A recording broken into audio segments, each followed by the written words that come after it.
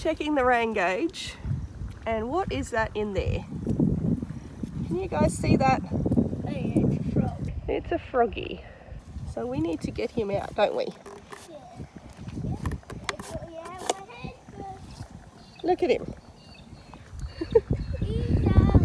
How do we get him out without, um, so we can work out how much we, rain we got as well? What do you guys think? What's he doing? No. You can't put your hand in there, definitely not. Well, it's raining that much in the Lockyer Valley, it's raining frogs.